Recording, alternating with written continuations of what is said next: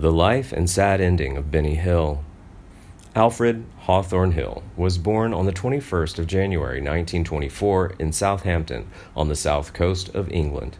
His father, Alfred Hill, and grandfather, Henry Hill, had both been circus clowns. His mother was Helen Cave.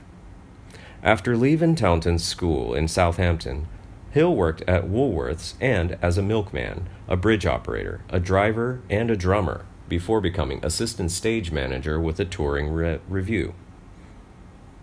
He was called up in 1942 and trained as a mechanic in the Royal Electrical and Mechanical Engineers, the British Army. He served as a mechanic, truck driver, and searchlight operator in Normandy after September 1944, and later transferred to the Combined Services Entertainment Division before the end of the war. Inspired by the star comedians of British music hall shows, Hill set out to make his mark in show business. He changed his name to Benny in homage to his favorite comedian, Jack Benny. After the Second World War, Hill worked as a performer on radio, making his debut on Variety Bandbox on the 5th of October, 1947. His first appearance on television was in 1950. In addition, he attempted a sitcom anthology, Benny Hill, which ran from 1962 to 1963, in which he played a different character in each episode. In 1964, he played Nick Bottom in an all star TV film production of William Shakespeare's A Midsummer Night's Dream. He also had a radio program lasting for three series called Benny Hill Time on BBC Radio's Light program from 1964 to 1966. It was a topical show. For example, a March 1964 episode featured James Pond 0017 in From Moscow with Love and his version of The Beatles. He played a number of characters in the series, such as Harry Hill and Fred Scuttle. Hill's film credits include parts in five full length feature films, including Who Done It in 1956, Light Up the Sky 1960, Those Magnificent Men in Their Flying Machines 1965, Chitty Chitty Bang Bang 1968, and The Italian Job in 1969. He also made two short subject films, The Waiters in 1969 and Eddie in August in 1970, the latter being a TV production. Hill had struggled on stage and had uneven success on radio, but in television he found a forum that played to his strengths. The Benny Hill Show began in 1955. Its pioneering combination of cheeky humor, songs, and impressions was to make it a hit for the next 40 years. It made great success and fame for him.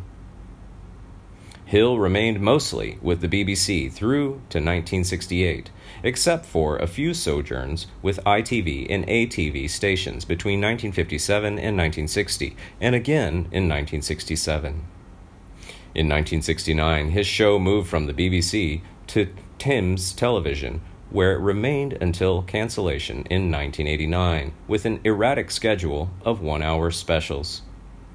In 1979, The Benny Hill Show was shown in America for the first time, and Benny went on to become one of the biggest stars on US TV and won a BAFTA as well as a Golden Rose of Montreal award.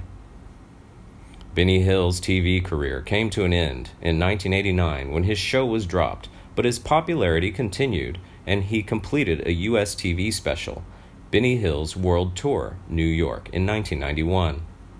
Despite being a millionaire many times over, Hill continued with the frugal habits that he picked up from his parents, notably his father, such as buying cheap food at supermarkets, walking for miles rather than paying for a taxi unless someone picked up the tab for a limousine, and constantly patching and mending the same clothes even when the balance on his account at the Halifax Building Society reached seven figures. Hill never married and he had no children. He had proposed to two women, but neither accepted. Shortly after his death in 1992, actress Annette Andre said that she turned down his proposal of marriage in the early 1960s. Because of his eccentricity and reclusive lifestyle, rumors circulated that he was gay, but he was always laughingly denied them. Hill's health declined into the late 1980s. after a mild heart attack on the 24th of February in 1992. Doctors told him he needed to lose weight and recommended a heart bypass. He declined and a week later was found to have kidney failure. He died at the age of 68 on the 20th of April. On the 22nd of April, after several days of unanswered telephone calls, he was found dead in his armchair in front of the television. His cause of death was recorded as a coronary thrombosis. Hill was buried at Hollybrook Cemetery near his birthplace in Southampton on the 26th of April, 1992.